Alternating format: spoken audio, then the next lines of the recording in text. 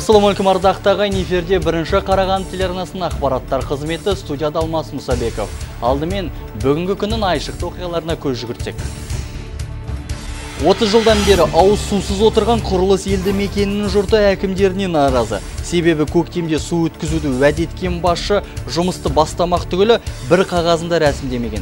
әкімге кіруге бола ма десем вечно занят Сәтбаев қаласының шенеуніктері бұқаралық ақпарат құралдары өкілдерімен төбелесіп ауруханадан бір-ақ шықты. Атқамінерлер мен тілшілер қала әкімі орынбасарының қабылдау бөлмесінде жаға жыртысқан.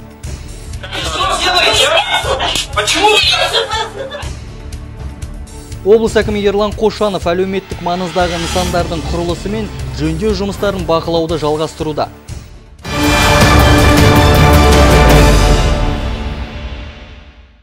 30 жылдан бері ауыз сусыз отырған облысымыздағы құрылыс ауылының жұрты әкімдеріне наразы. Өйткені көктемде су өткізуді уәде еткен басшы жұмыстарды бастамақ түгілі бір қағазында рәсімдемеген. 600 тұрғыны бар елді мекеннің жалғыз ғана су құдығы бар. Мейрамгүл Салқынбаева толығырақ. әкімге кіруге бола ма вечно заняты Құрылыс ауылы тұрғындарының әкімге деген өкпесі бұл елді мекендегі су мәселесі 600-ге жуық адамның бас қайғысына айналған. 30 жылдан бері елді мекендегі жалғыз құдықтан су тасып қажыған жұрт 7 литрлік шелектерін толтыру үшін сағаттап кезекте тұруға мәжбүр. Ауылдықтар 9 жыл бұрын сайланған басшы алдаумен келеді деп ашулы. міне осы 17 жыл шықсын деді көктемде кеп отчет жасағанда 8 миллион осы ауылға суға бөлінді деді міне жаз бітті қайда сол обещаниясы қайда мына заречныйда сонау сегіз шақырым таудан су тартылды а біздікі ауыл ішіндегі ағып жатқан балдай суымызды іше алмай кейде осыған тарығып қаламыз Ал жергілікті билік өкілдері елді мекендегі кеңес заманынан бері ессіз қалған су қоймасын ауыл тұрғыны өз атына жекешелендіріп алғанын айтады. Бірақ ресми түрде құжаттар әлі рәсімделмеді. Шенеуніктер азаматтан нысанды мемлекетке тапсыру туралы құжаттар кем дегенде екі айдың ішінде дайын болады дейді. Қазір ол кісі бізге бас сенім хат берді құжаттар рәсімделіп ә, рәсімделіп жатыр ол коммуналдық меншікке өткеннен кейін біз бақылау шоты есебінен қаражат бөлініп су құбырларына жөндеу өткіземіз Атқамінерлер бұйыртса су күзге қарай тартылатын мәлімдеді, бірақ құрғақ уәдеден шаршаған жұрт бұған аса сенбейді. Мейрамгүл Салқынбаева, Дастан Шанин, бірінші Қарағанды телеарнасы. Ал Сәтбаев қаласының шенеуніктері бұқаралық ақпарат құралдары өкілдерімен төбелесіп ауруханадан бір-ақ шықты. Ең қызығы атқамінерлер мен тілшілер қала әкімі орынбасарының қабылдау бөлмесінде жаға жыртысқан. Журналистердің камерасын сындыруға дайын болған екі шендінің бірі жүкті екені анықталды. Вы как себя ведете? Нет, нет, вы как себя ведете? Нет, ну, вы почему на людей бросаетесь? Вы почему бросаетесь на людей? И что дальше? Бұл әлеуметтік желіде кешелі бері қызу талқыланып жатқан шенеуніктер мен тілшілердің төбелесі. Әкімнен сұхбат алуға келген журналистер камерадан айырылып қала жаздағандарын айтады. басында камераны үстіне жатып алып сосын алғанбыз одан кейін бөлімдер Прокуратура өкілдері бақылауға алған төбелесті бейнекамераға тілшілердің өзі түсіріп алған. Жазбада әкімдіктің екі бірдей қызметкері журналистердің камерасына таласып, азаматтардың намысына тиетін сөздермен балағаттағаны естіледі. Тіпті шенеуніктердің бірі құрылғыны терезеден лақтырмақта болған. Тілшілер Сәтпаев қаласы әкімнің орынбасары Айгүл Төлендинаға жұмыс бабымен келгендерін айтады. Бірақ Сәтпаев әкімнің орынбасары азаматтардың шенділерге қол жүгіртіп, жүкті әйелдің ішінен теуіп жібергенін айтады.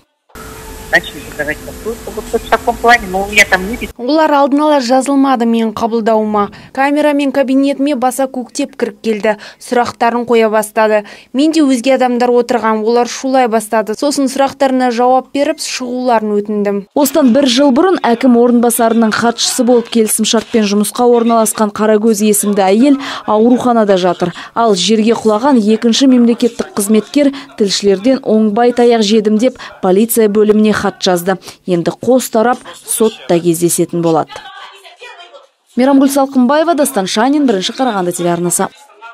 Облыс әкімі Ерлан Қошанов әлеуметтік маңыздағы нысандардың құрылысы мен жөндеу жұмыстарын бақылауды жалғастыруда. Бұл жол аймақ басшысы қаламыздағы жаңадан салынып жатқан білім ордалары мен күрделі жөндеу жұмыстары жүргізіліп жатқан мәдениет ошақтарының жай күйімен танысып қайтты. Ерлан Қошанов жұмыс сапарын Пришахинскідегі молодежный мәдениет үйінен бастады. Жөндеу жұмыстары мамыр айында басталған нысанды кеншілер күні мерекесіне дейін пайдалануға беріледі деп жоспарланып отыр. 2015 жылы ішкі жұмыстары толық аяқталған мердігер компания биыл ғимараттың сыртын көркемдеп жылыту қазандығын орнатып жатыр. Айта кетейік, Қарағанды қаласындағы ең үлкен мәдениет нысандарының қатарына жататын бұл ғимарат ағымдағы жылдан бастап орталықтандырылған жылу жүйесіне қосылмақ. Подрядчик Аксаран Секевская. Работы начали не первого, конечно, заключили договор. Работы начались 25 мая. 31 мы заканчиваем. Ну, как я сказала, здесь большая у нас экономия. Аймақ басшы жұмысымен танысқан келесі нысан сортировка елді мекеніндегі темір жолшылар мәдениет үйі болды. Мамыр айында басталған нысанның жөндеу жұмыстары шілде айының соңына дейін аяқталуы керек. Биылғы жылғы бұл ғимараттың тек сыртқы жағы ғана қалыпқа келтіріледі. Ал ішкі жұмыстар келесі жылға шегеріліп отыр. Ал қарқынды жөндеу жұмыстары жүріп жатқан майқұдық мәдениет үйі 420 адамға шақталған. Мәдени ошақтарды аралап шыққан ерлан қошанов кеншілер мерекесіне дейін нысандардың барлығын қолданысқа беруді тапсырды. Сейчас вот э, на День железнодорожника планируется народное гуляние. И на и как раз на наше 80-летие. И уже торжественная часть мы планируем где-то в ноябре. Сондай ақ облыс әкімі жөнделіп жатқан білім ордаларына да назардан тыс қалдырмады. Майқұдық сортировка Пришахтинск елді мекендеріндегі білім беру мекемелерінде жүргізіліп жатқан жұмыс барысымен танысқан Ерлан Қошанов атқарылған іске оң бағасын берді. Айда кетейік, биылғы жылы Қарағанды қаласында 25 мектепке күрделі жөндеу, 23 мектепке орташа жөндеу жұмыстары жасалады. Ол үшін облыстық бюджеттен 1 миллиард 268 миллион теңге қарастырылған. 79 общеобразовательных школ, детских садов 41, внешкольных организаций 10. В Октябрьском районе у нас 52 организации. И численность детей 52 882 ребенка. аймақ басшысы арнайы танысқан сортировкадағы 22-ші мектептің жөндеу жұмысына 100 миллионнан аса қаржы бөлінген. Жалпы жөндеу жұмыстары екі кезеңге бөлінген нысанның биыл терезелері мен сыртқы беті жаңартылады. Ал келесі жылы қалған құрылыс жұмыстары да аяқталады деп күтілуде. Ғимаратты жаңарту шараларымен танысқан ерлан қошанов мердігер компанияға сапаға баса назар аудару тапсырып барлық жұмыстарды белгіленген уақытта аяқтау керектігін ескертті. У них полностью окна, вот у окна они сто процентов поставили, сейчас идут внутриотделочные работы. И плюс еще фасад. Фасад у нас лицевая сторона. Мы э, здесь в целом на, по данному объекту у нас проектной сметной документации свыше 100 миллионов. Мы на, на, на, два, на два этапа поделили в этом году. Вот кровля, окна, лицевой, лицевой фасад. Биыл қаламызда қарқынды жүріп жатқан мәдениет, білім, әлеуметтік нысандардың жөндеу жұмыстары қыркүйек айына дейін толық аяқталады. Ал облыс әкімі Ерлан Қошанов алдағы аптада Қазыбек би ауданында жүргізіліп жатқан жұмыстардың барысымен танысып қайтпақ. Жанайдар Майкен Жақсылық Нұртай Дастан Шанин бірінші Қарағанды телеарнасы.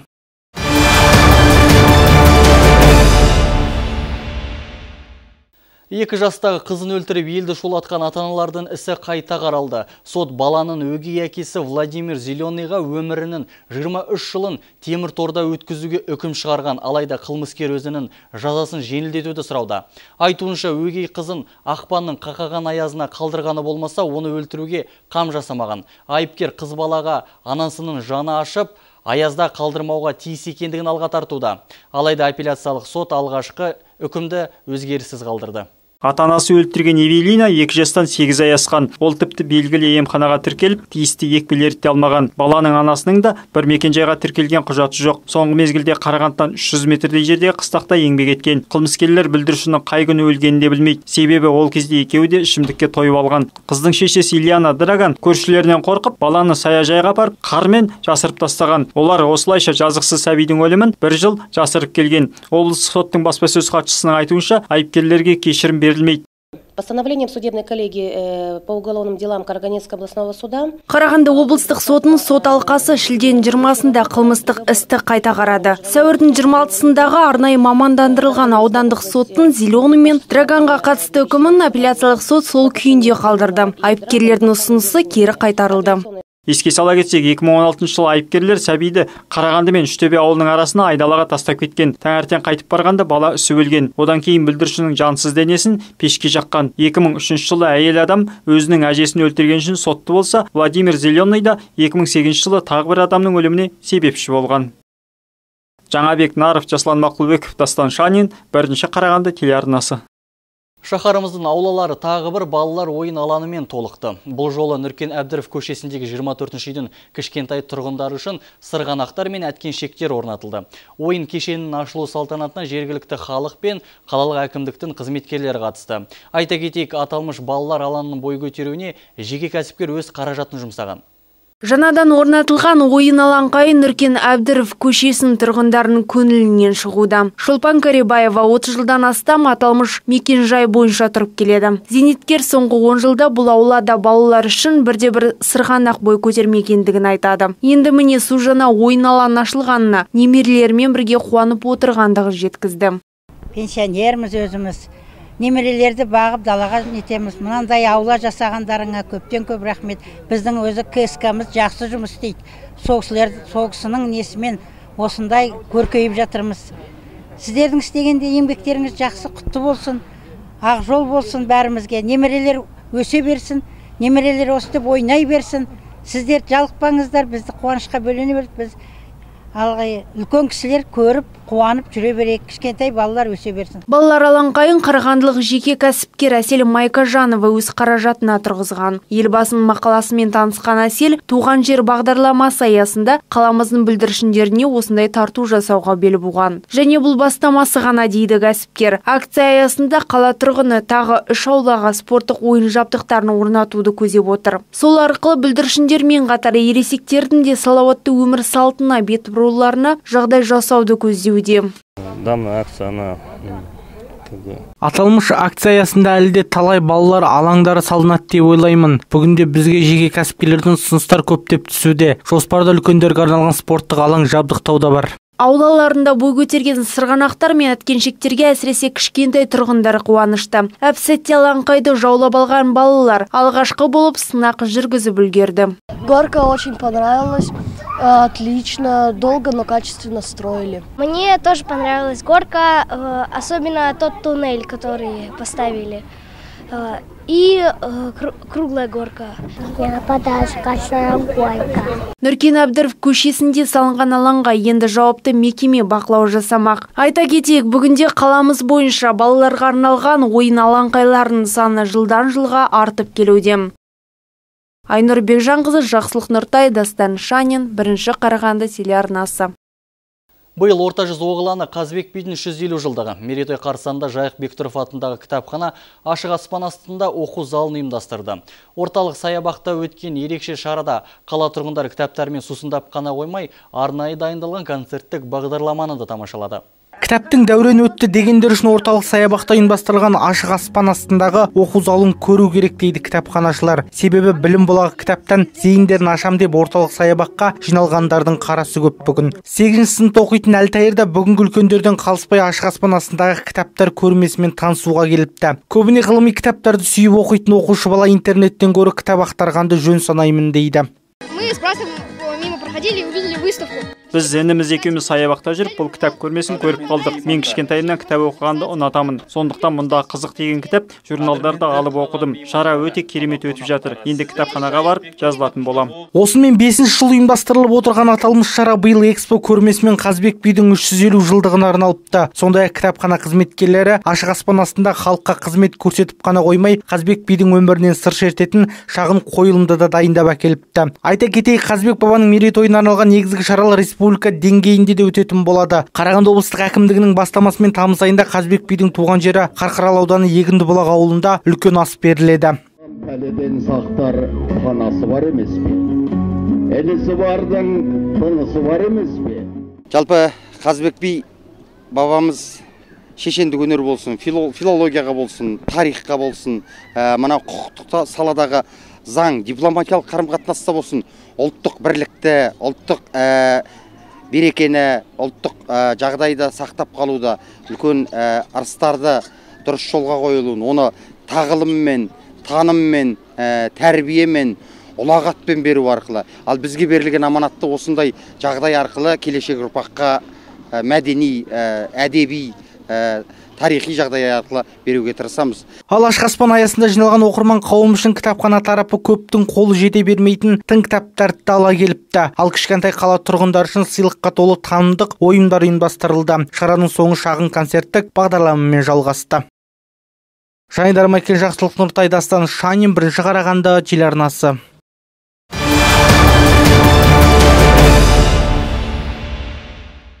Кеншілер шаһарында заңгерлер қауымы жетерлік. Әсіресе сот саласында бұрыннан қызмет жасап, халықтың мұң мұқтажына әділ шешім шығарып жүрген жандар жанымызда. Солардың бірі облыстық соттың судьясы Бәтжан Қасенованы ерекше атауға болады.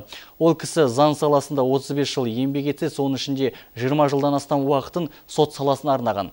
Біздің кейіпкер бүгінде зейнетке шыққан судья заңгер Бәтжан Жұмақанқызы Қасенова. Кейіпкермен тілдесіп қайтқан тілші Анар Қанатқызы толығырақ тарқатсын әлгі заңды тұлғалардың одан кейін заңды бәтжан жұмақанқызы нұра ауданының тумасы. Жастайынан заңгер болуды армандаған бала бәтжан мектепті ойдағыдай бітірген соң 1973 жылы қарағанды мемлекеттік университетінің заң факультетіне оқуға түседі. Содан кейін алғашқы еңбек жолын заң кеңесшісі болып бастайды. Мен еңбек жолымды мен ә, заңгерден бастадым. Енді юрисконсульт деп айтады. Бір мекемеде ол жерде үш жыл қызмет істедім. Одан кейінгі он жыл әлгі өкілеттілігім еңбек өкілеттілігім ол адвокатура саласында болды. Заңды отставкаға шыққанға дейінгі менің өмір жолым еңбек жолымның бәрі қарағанды облыстық сотымен байланысты. Облыстық сотында азаматтық істер сот алқасының судьясы болып қызмет атқардым. Судьяның мемлекет қоғам алдында зор жауапкершілігі бар. Ол адамдардың тағдырын шешеді. Азаматтар мен заңды тұлғалардың арасында болып жататын дау дамайларға заң тұрғысынан баға беріп әділ шешім шығарушы алтын көпір. Сондықтан мінсіз судья болу үшін оның мәртебесі өте жоғары болу керек дейді бәтжан жұмақанқызы. Судья өзінің білімділігімен білгірлігімен одан кейінгі адамгершілік тұрғысынан барлығын қарап оның үстіне қазіргі заманға сай әлгі әрі бері ойланып толғанып ол оңай емес. Өйткені адамның енді қиын жағдай шешіліп жатады өмірлік бір мәселелерін қарайтындай боламыз. Соған байланысты әрі қарай өмірінің өзгешеліктері болып жатады. Соны дұрыс заңды шеңберде шеш. Облыстық сотта азаматтық істер жөнінде судья болған бәтжан қасенова заңгер маманы болғанына еш өкінбейді себебі 30 жылдан астам уақыт ішінде мыңдаған іс қарап екі тараптың бітімгершілікке келуіне көп септігін тигізген жан. Өз ісінің кәсіби маманы бола білген судья 2011 жылы жылдың таңдаулы судьясы атағының иегері және қазақстан республикасы тәуелсіздігіне 20 жыл атты төс белгілерімен марапатталған.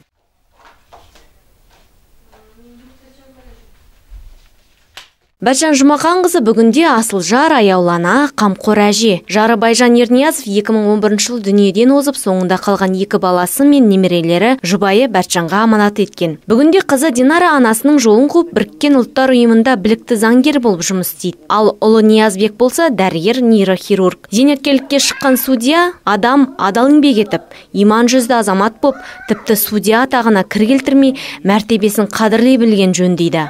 Ал әйел ретінде әйел ретінде мен бақыттымын деп есептеймін. Әлгі жаныңды түсінетін саятап алатындай жарың болды.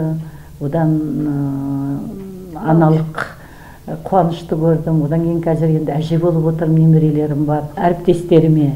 Кейінгі вообще азаматша келіншектердің бәрін айтқым келетіні қызметке қарамай көп балалы болу керек екенін ойлаймын. Өйткені бір жағынан біз өзі қазақ халқы азбыз да ғой. Оның үстіне қызмет бабымен жүріп қаламыз да уақыттың зымырап қалай өткенін білмей қаламыз. Кітап жинағанды ұнататын судьяның жеке кітап қорында орыс қазақ классиктерінің шығармалары басым. Содан болса керек сөз саптауы мен сөйлеу мәдениеті ұшаң теңіз. Туып би болмайды ешкім. Ол би болып қалыптасады. Ол үшін қажырлық керек еңбек керек талапкершілік қою керек. Өзіне үлкен жүк артатын сол ауыр жүкті алып жүре алатындай алып жүре аламын ба дейтін деп ойлану керек. Сен жай кеңес беретін болсаң да дұрыс кеңес беруің керек қой. Дұрыс жолға салуың керек. Дұрыс бағыт беруің керек. Кейіннен оның әлгі өміріне тағдырының бір өзгерістеріне себепші боласың. Жаныңда жүр жақсы адам. Ол бәтжан қасенова. Судьялық қызметке адал болып заңды бұлжытпай орындап алдына келген әрбір адамға сабырлық әдептілік пен кішіпейілділік білдіріп заң тұрғысында әділ шешім шығарған адам. Анар қанатқызы жақсылық нұртай дастан шанин бірінші қарағанды телеарнасы. Ардақты ағайын бүгінгі арнамызға келіп түскен ақпараттар легі осындай болды. Егер де бір қызықты жаңалығыңызбен бөліскіңіз келсе редакциямыздың 42 49 телефонына қоңырау шалуға болады. Әдеттегідей жаңалықтарымыздың толық нұсқасын арнамыздың сайтынан таба аласыздар. Мен өздеріңізбен қоштасамын. Амандықта жүздескенше